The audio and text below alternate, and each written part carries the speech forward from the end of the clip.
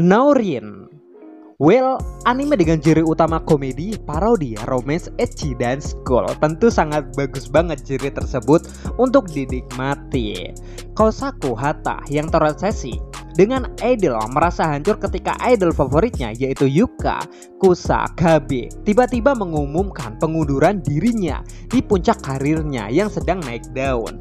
Sebagai penggemar berat Yuka, kabar ini membuat ia terpukul dan saat ia dalam keadaan depresi, dia dibuat kaget plus senang karena idol favoritnya tersebut pindah tiba-tiba berada di kelasnya. Namun, karena berbagai alasan, ia menyamar sebagai Ringo Kinoshita. Hal ini membuat ia bertekad mendekatinya dan menanyakan alasan ia mengundurkan diri.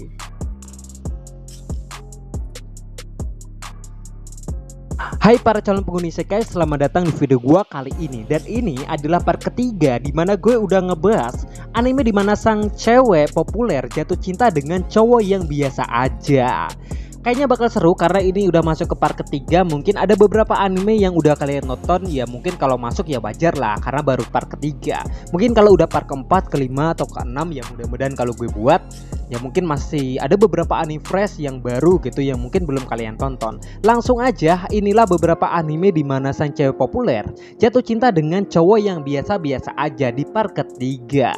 Dan buat kalian yang belum nonton part sebelumnya ditonton juga. Linknya ada di deskripsi bawah So langsung aja kita ke nomor yang pertama.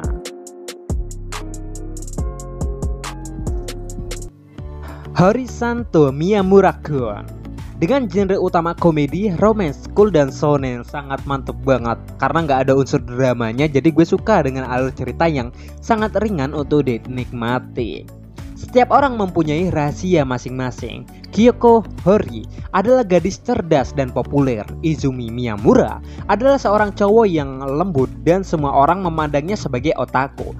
Berkebalikan banget kan dengan apa yang kita lihat. Namun diam-diam ia sering memakai tindik dan juga memiliki tato di uh, tubuhnya. Namun suatu hari mereka mengetahui rahasia masing-masing dari tiap karakternya. Tetapi hal tersebutlah yang membuat mereka dekat dan menjadi seseorang yang lebih jauh dari kata sahabat. Ya pacaran lah, masa nggak tahu anjir. Gitu aja nggak tahu. Amagami SS dengan ciri utama Slave of Life, komedi, romance, dan school. Untuk alur ceritanya yaitu Amagami SS berfokus kepada tokoh yang bernama Tachibana Junichi, seorang siswa SMA yang memiliki trauma akibat dicampakkan oleh teman kencannya waktu malam Natal. Dalam anime ini ditampilkan berbagai kisah asmara setelah kejadian malam Natal antara Juinichi dan ketujuh heroin yang ada di tiap arsnya. Bahkan dari ars ketujuh ars tersebut ada yang berakhir dengan menikah. Sedikit informasi tambahan juga nih tentang Junichi. Ia mempunyai teman yang bernama Umehara, seorang anak dari pemilik pengusaha restoran sushi. Junichi dan Umehara merupakan sahabat nih, termasuk sahabat berbagi majalah dan video ero. Mungkin bagi Junichi sebagai pelarian dari trauma yang ia alami pada masa lalunya dulu.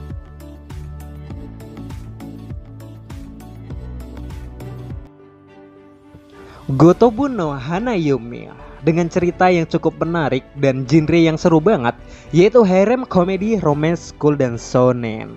Uesugi Futaro adalah siswa kurang mampu dan antisosial. Tetapi di balik kekurangannya tersebut, Futaro merupakan siswa yang pintar dan meraih nilai sempurna. Karena keadaan keuangannya yang kurang mampu dan ayahnya yang begitu pelit atau terlilit hutang, Futaro mencoba mengajar les privat. Namun ia terkejut setelah datang ke rumah orang yang akan dibimbingnya ternyata adalah teman sekelasnya yaitu lima gadis kembar Nakano yang suka membuat onar nih. Keseruan pun dimulai dengan alur cerita yang begitu menarik.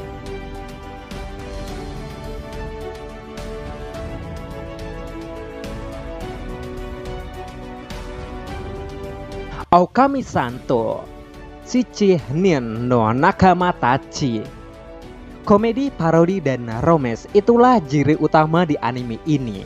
Okami Ryoko adalah seorang gadis SMA yang gagah dan pemberani. Dia tinggal berbicara dengan cara tradisional dan sangat mahir dalam pertempuran. Sahabatnya yaitu Okami-san adalah Aki Ringo yang bersuara kecil dan bernada tinggi. Kebetulan keduanya agak berdada ratar nih atau flat gitu. Okami dan Ringo adalah anggota Otogi Bank sebuah klub di SMA Otogi yang membantu siswa dengan masalah mereka. Berbagai imbalan mereka harus mau membantu klub tersebut jika klub membutuhkannya. Karena sebagian besar anggota klub adalah perempuan, laki-laki diberikan tugas yang lebih berbahaya. Anggota laki-laki yang bergabung dengan klub tersebut adalah Morino Ryushi yang dilantik sebagai anggota tepat setelah ia mengakui cintanya kepada Okami.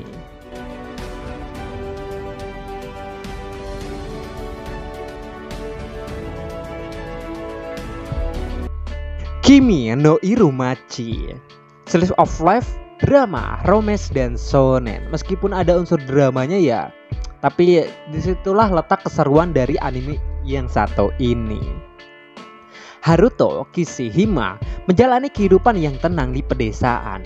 Jauh dari kehidupan kota yang serba cepat Kemudian Yuzuki Eba muncul entah dari mana Datang dari Tokyo yang tinggal sementara bersama keluarganya Waktu mereka bersama membuat dia teringat dengan kenangan singkat sebelum dia tiba-tiba menghilang dari hidupnya dan meninggalkannya dengan penuh pertanyaan. Setelah Haruto pindah ke Tokyo, tinggal bersama saudari perempuannya untuk mengejar karir sebagai juru masak. Meskipun kenyataannya dia hanya ingin bertemu dengan Yuzuki. Beberapa hal mulai berjalan tidak baik Ketika dia tiba, dia dikira sebagai pencuri dan diserang oleh tetangganya yaitu Misama Asuka. Namun setelah kesalahpahaman itu terselesaikan, perasaannya mulai goyah nih dan akankah gadis lain yang membuat Haruto jatuh cinta?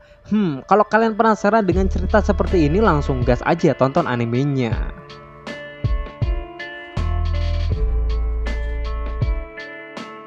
Gamers Komedi, romance, dan school itulah genre utama di anime yang satu ini. Untuk alur ceritanya begitu ringan dan simpel disajikan, jadi sekali nonton aja kita udah paham dengan alur ceritanya. Keita Amano adalah seorang gamers penyendiri. Suatu ketika ia berbelanja ke toko game dan bertemu dengan gadis pirang populer yang bernama Tendo Karen yang ternyata juga seorang gamers juga nih. Tendo pun mengajak Amano bergabung ke klub game yang ada di sekolah mereka. Karena Amano gamers penyendiri, akhirnya ia memutuskan untuk berkunjung terlebih dahulu ke klub tersebut. Sainai Heroin no Sodate Kata. Harem komedi romance ecchi school. Kurang apa lagi coba? Sangat lengkap banget untuk anime yang satu ini. Tomoya Aki adalah seorang otaku yang telah terobsesi dengan mengkoleksi anime dan light novel selama bertahun-tahun membayangkan dirinya sebagai karakter yang menawan. Sekarang, dia ingin memiliki kesempatan untuk memberikan pengalaman yang sama untuk orang lain dengan membuat gamenya sendiri. Tapi sayangnya, Tomoya tidak dapat melakukan tugas ini sendirian.